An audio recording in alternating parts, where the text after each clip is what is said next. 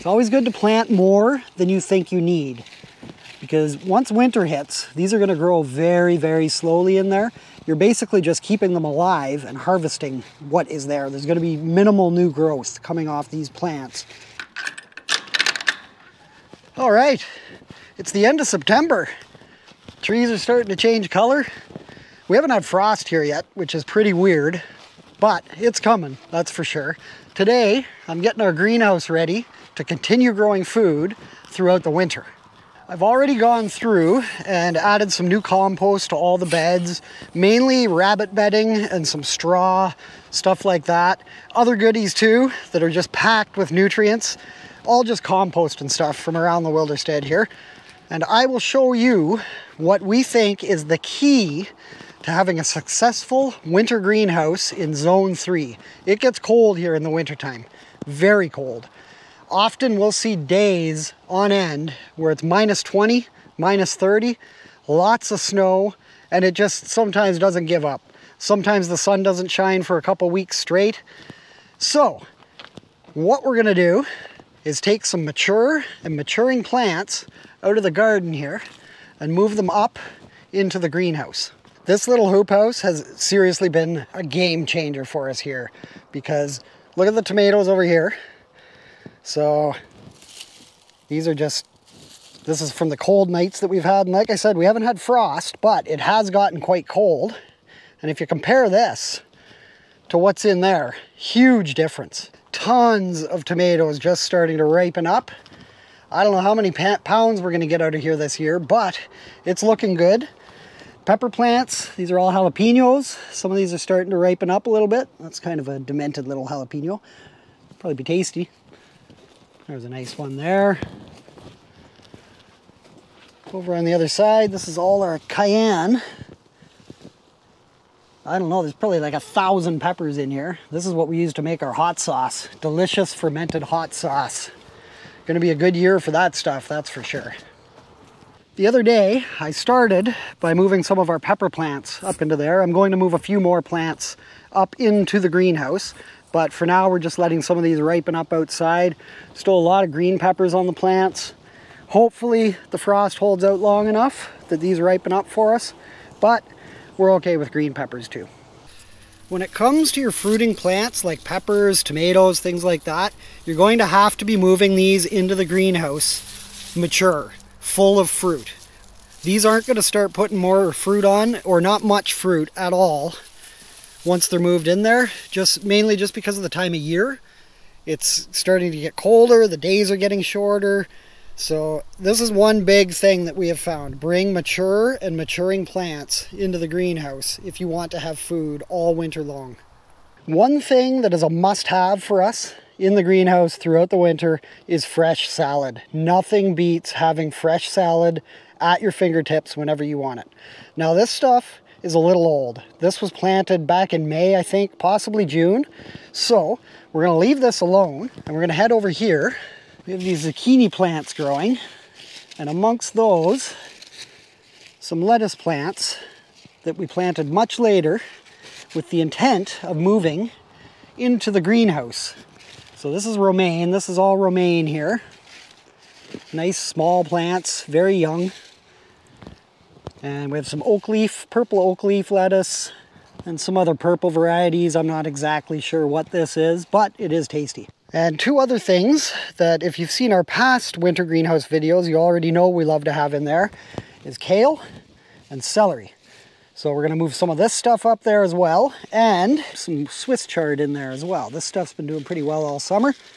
So let's get started and I'll show you guys what goes on up there and we'll see the finished planting at the end of the video. All I'm going to do is taking a large enough portion of roots, remove a bunch of these guys, set them in this tray.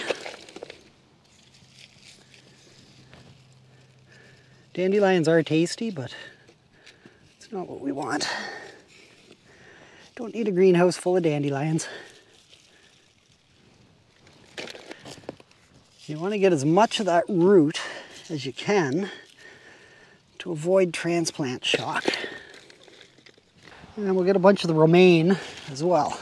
Move some of that stuff up there. It's always good to plant more than you think you need because once winter hits, these are going to grow very, very slowly in there. You're basically just keeping them alive and harvesting what is there. There's going to be minimal new growth coming off these plants come late December, January, and around there. And again, getting as big of a clump as you possibly can.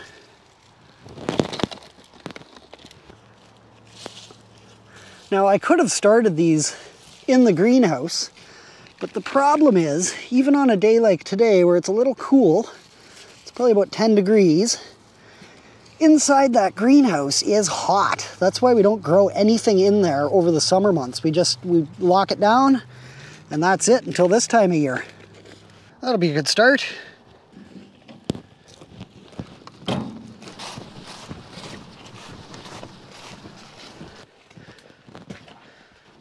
So this is what the greenhouse is currently looking like.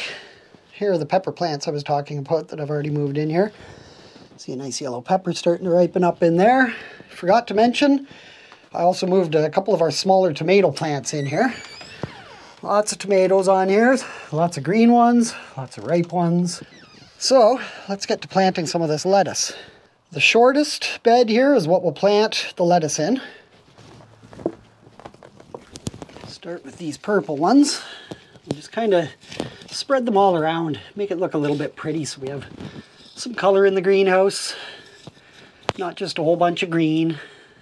Nice little spattering of purple amongst the romaine lettuce. Now you might want to inspect your plants for bugs and stuff like that. I kind of already did that down there. You just kind of want to look on the leaves underneath See if you see anything. If you do see stuff, you might want to avoid using those particular plants or give them a good blast of water. Aphids and stuff like that will usually just come off if you spray the plant. Give it a really good spray. Now for the nice romaines.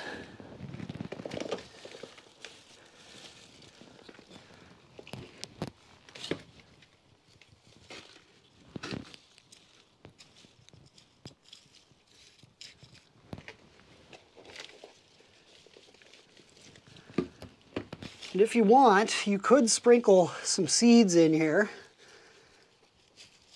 to get started now while these start to take off. Just a little bit of succession planting. I may do that, I may not do that. We'll have to see. But your window is going to be pretty short if you want to get some good germination before we start to lose a lot of that daylight and warmth. So if you do want to do that, get those seeds started in here.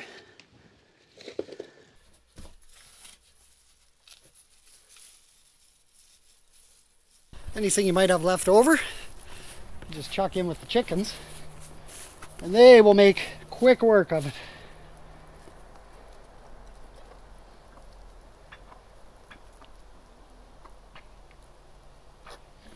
Okay, not as quick as I thought, but they will eat it that's the lettuce planted. I may grab a few more plants down there, we'll have to see. But that's the lettuce bed. Let's go down, see what else we can bring up. Let's get started with some of this kale. And that should open up some space in here that we'll be able to easily get at some of the celery plants and the Swiss chard. Starts with this little guy. Kale's pretty hardy. Anytime I've moved these into the greenhouse, I don't really worry too, too much about what happens to the roots. Pull that out. See, I've barely got any root here.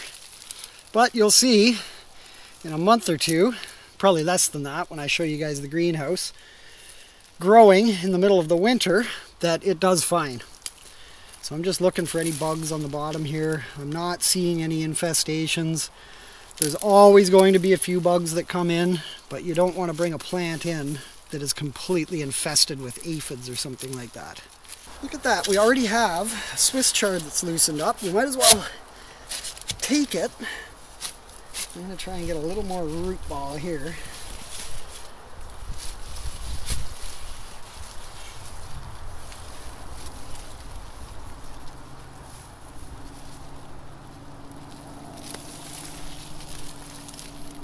Okay.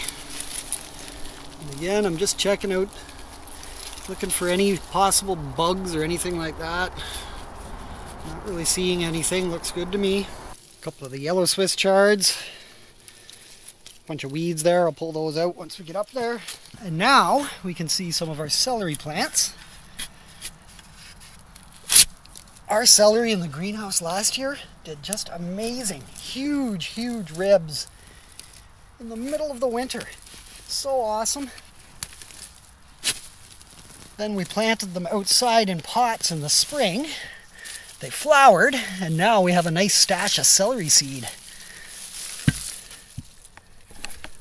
So there's our celery. Now when we harvest celery, we're only taking single ribs at a time. We don't wait for the whole plant to mature. We just harvest as they become ready and gobble it up. So put this guy in the wheelbarrow too. All right, that's a good size load to start with.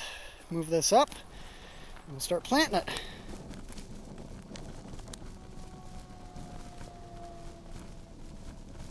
See, look, now these guys are mad because I gave those guys some treats.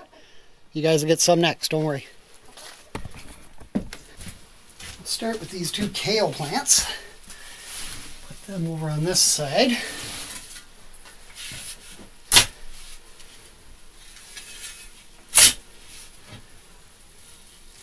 Our soil in here is so nice.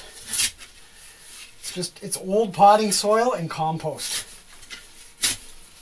And we just keep adding to it every year.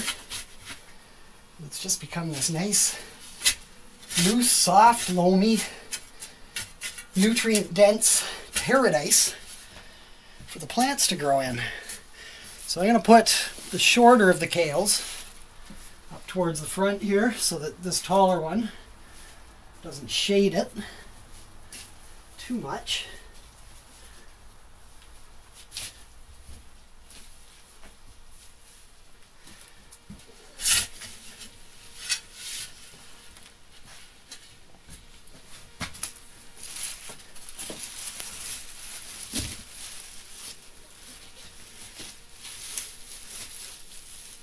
I'll probably bring at least one more kale plant to fill in this spot right here. Celery in this bed. It did great in this bed last winter. Let's hope we can have a redo of that. This bed could use a little more soil, but that's okay. Plop you in there.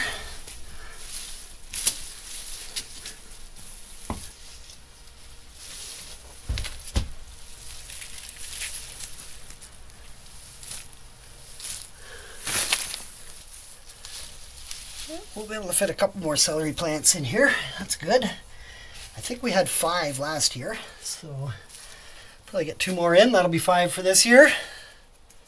And the Swiss chard, I think I'm just going to plant in various spots around in the greenhouse here. I haven't done Swiss chard in here yet. So, that way we don't end up with a full empty bed if the Swiss chard doesn't work out.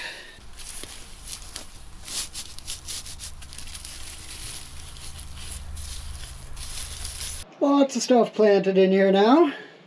And lastly, we'll plant a whole bunch of onions.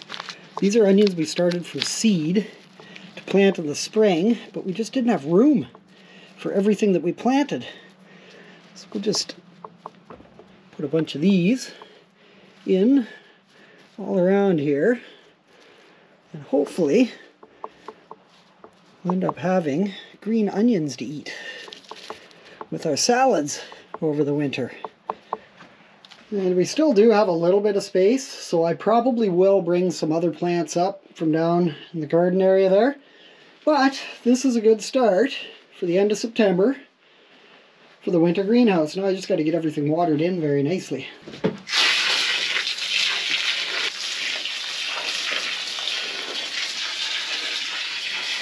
And the last thing I'm going to do is give some of these Swiss chards a little bit of a haircut. Mainly just the really big leaves here. Just kind of helps the plant with the transplanting. Less greenery to have to support.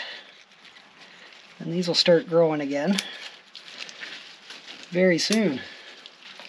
So that is how we prepare the greenhouse for the winter time. And before I forget, we better give these guys their treats, otherwise they'll be ticked off.